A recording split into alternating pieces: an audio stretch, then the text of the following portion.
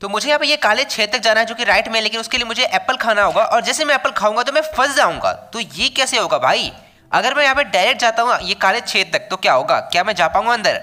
Okay नहीं, ऐसे नहीं होगा। मुझे यहाँ पे एप्पल तो खाना ही पड़ेगा। तो मैं डायरेक्ट नहीं खाता हूँ। अगर मैं यहाँ पे लेफ़्ट आ जाऊँ तो क्या होगा? ओके ट्राई करते यस या हो गया कंप्लीट चलो भाई, यहाँ पे राइट चलते फटाफट और ये लेवल कंप्लीट